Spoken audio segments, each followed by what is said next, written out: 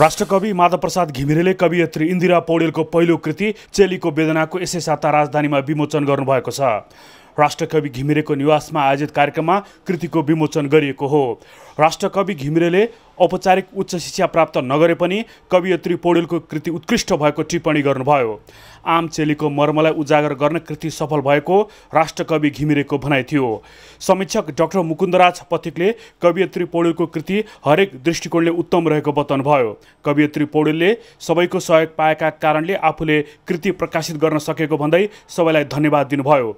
कवियत्रीका श्रीमान भैरव पौडेलले आफ्नी अर्धाङ्गिनीको कृति नेपाली साहित्यको अमूल्य निधि बन्ने विश्वास व्यक्त गर्नुभयो। कार्यक्रममा समाजसेवी शम्भु अधिकारी कवियत्री पौडेलकी छोरी सुनिता ज्वाइँ राजन दाहाल लगायतले कवियत्री पौडेल सच्चा बधाईको पात्र भएको विचार राख्नुभयो।